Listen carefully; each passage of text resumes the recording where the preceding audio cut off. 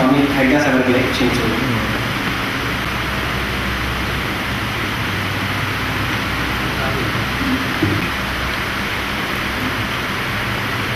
I was able to participate in today's function. Looking back into my own life, before I met my guru, Swamiji Maharaj my main source of ins- inspiration were the writings of Swami Vivekananda. I had an elder uh, member in the family who was a great devotee of Ramakrishna and Vivekananda. And again, in 1960, when I was a student in Delhi University, Swami Ranganathananda was the president of the at that time in Delhi. He asked us, Delhi University students, six of us, to speak on Vivekananda. So the influence has been there right from those early days. And even today, when I read about him or read what he has spoken, what he has written, it gives me a tremendous source of inspiration. Vivekananda used to say, what we need is nerves of steel and muscles of iron.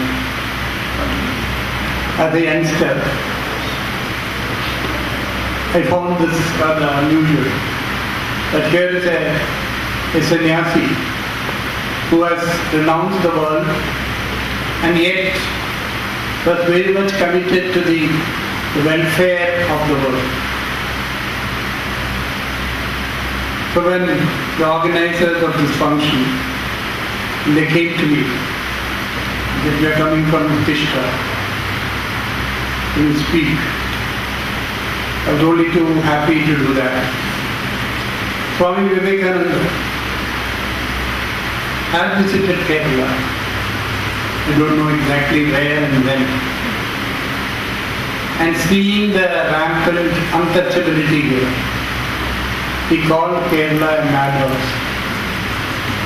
Not a very good compliment. Anyway, he felt that this has gone to such an extreme in the. The very title that you have chosen, don't know there's any motto behind for this organization. Uttishta.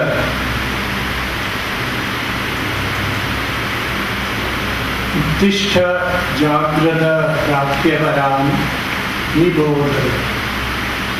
That is the whole quotation. Saying, get up, wake up. Indians have been sleeping for centuries. We have totally confused ourselves between Sattva-guna and Tamoguna. In the name of Sattva-guna, people have become tamasic. So they have to be woken up. Please wake up. See the condition of your own country. How degraded we have become. And even in the beginning of the 21st century, no doubt there have been a certain amount of material progress. But along with that, there has been a degradation of humanity. Human beings have become, not only in India but all over the world, more and more conscious of accumulating wealth and indulging in desires. Artha and Kama have become Paramapurusharthas, the ultimate goal of human existence, even to the modern Indians. We have inherited a wonderful spiritual culture. I would say our national ideal would be of service and renunciation. The readiness to share with the rest of the world. Of course, both uh, economically as well as I would say spiritually. We have shared with the rest of the world down the centuries. Everybody has looked up to India as a land of spirituality from the days of Alexander when he was coming to India.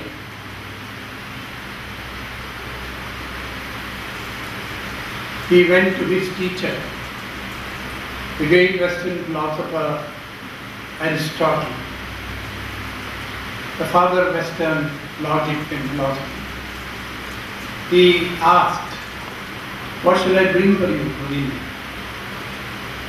And Aristotle is supposed to have replied, Bring me a philosopher who.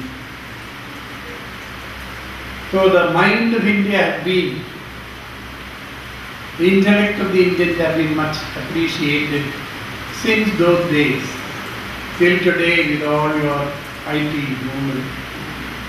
There may be more Indians working in this field than any other field. We have always welcomed knowledge. We always the truth is one. The sages are called by different names. Then, a great, large-hearted Upanishadic Rishi prayed, Ano Bhadraha Kadavo Yantu. Let noble thoughts, noble ideas and ideals come to us from all sides. So we have been an open-minded civilization conscious of our own heritage, conscious of our real source of strength, the spirituality. So from the Vedic days till today, if anybody comes to India from other countries, I would say majority of them are coming here seeking this spiritual knowledge. And today we find we need it all the more. The more we work, the more we earn, the more we spend. We all become victims of stress and strain. We need all types of stress busters. And I was very happy to notice in today's paper that bhajans and kirtans have become, at least for a certain section of youngsters in Tamil Nadu, a stress busters. They're ready to sing. They're ready to do Harikatha. Otherwise, they would not have even looked at such museum. The impact of the Western civilization has been this that we have been given the knowledge to conquer the world with it. We, want, we have been encouraged by the great rishis of yoga to seek both spiritual as well as scientific knowledge. There is a famous Upanishad, the Mundaka Upanishad. There we find a student going to a master and asking such a fundamental question, which maybe we have started asking only recently. Kasmin Bhagavo Vijnati Sarvamidam Vijnanam Bhavati. What is that by knowing which all becomes known? No other culture I would say I have heard of has allowed this question to come up. It's only the last quarter of the century. We have been developing theories of everything. T-O-E. In physics, astrophysics, astronomy the scientists are asking, can we know the mind of God? Then we will have a theory of everything. And the Upanishad Rishi replies to the student that we have to acquire two types of knowledge. Dve vidye vedikarbye idihasmaya brahma vido vadanti parachaiva aparachaya the great Rishi, the Brahmavids had told us, there are two types of knowledge you must acquire. the Paravidya and the Aparavidya. The Paravidya dealing with things within the framework of time and space. The Aparavidya, the world of objects. But if you are able to combine and synthesize these two, spirituality and science can be brought together. We need a synthesis of these two for better human existence. Man, mankind evolution is in the hands of man because we become the dominant species. But now they have reached this point where in what direction should we turn? Where are we going? What will we do with all this knowledge we have accumulated? In the past, during the recent history of science, in the 1940s, we discovered the atomic energy, how to burn, break the atom, nuclear bomb was tested and made and dropped on human beings. So the pursuit of this technological knowledge without any sort of spiritual guidance system. We need a spiritual guidance system so that we do not convert these knowledges into weapons of destruction. The world is ours. How do we utilize our knowledge of the world, our knowledge about ourselves? That is totally in our hands. So Swami Vivekananda used to say, India has the role of the Guru, has to play the role of the Guru to the world. We have to exchange, we have to learn the materialistic knowledge from them. At the same time, give them our spiritual knowledge, in search of which they are coming to India in hundreds and thousands. You go to a Kumbh Mela, you go to any ashram in India, more than 50% of the people are outside. Because the knowledge is not available to them in their culture. Here it seems to have been freely available since times immemorial. And this is the precious thing that we have to preserve and propagate. Make use of the modern know-how. Make use of the ancient insights of our visions And thus combining and synthesizing these two to create a better world, a more peaceful world.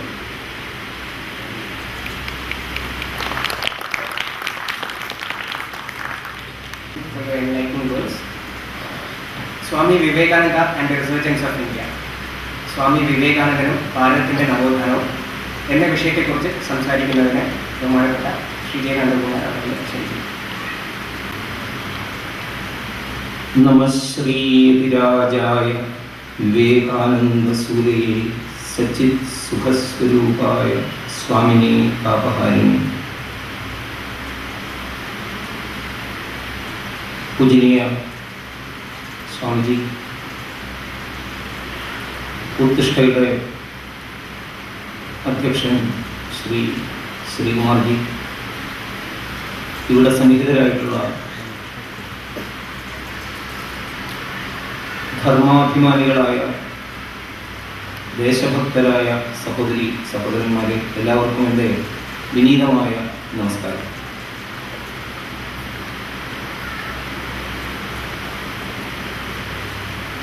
അങ്ങേയറ്റം പണ്ഡിതോചിതവും മനോഹരവുമായ ചേതോഹരവുമായ ഒരു പ്രഭാഷണം. അത് ഇനിയും കൂടുതൽ കേൾക്കണം എന്ന ആഗ്രഹം മനസ്സിൽ ഉണ്ടാകുന്നതിനിടയിൽ സ്വാമിജി അത് നിർത്തിയെങ്കിലും. പറഞ്ഞത്രയും കാര്യത്തിൽ നിന്ന് തന്നെ നമുക്ക് ഭാരതത്തെക്കുറിച്ച് ഭാരതത്തിന്റെ വിശിഷ്ടമായ പാരമ്പര്യത്തെക്കുറിച്ച്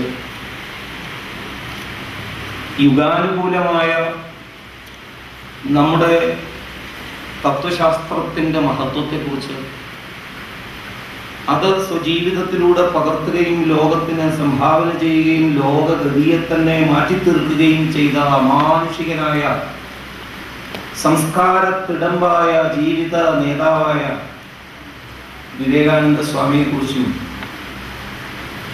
വളരെയേറെ കാര്യങ്ങൾ മനസ്സിലാക്കുവാൻ സാധിച്ചു സ്വാമിജി തന്റെ വിശ്വപ്രസിദ്ധമായ ചിക്കാഗോയിലെ ആദ്യ പ്രസംഗത്തിൽ